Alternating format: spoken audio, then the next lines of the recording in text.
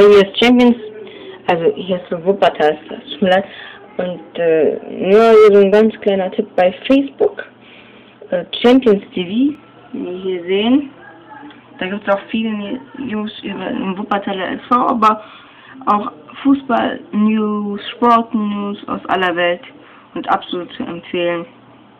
Einfach mal die Seite li liken und durchschauen und ja, viel Spaß dabei. Hoffentlich gefällt euch diese Seite ja.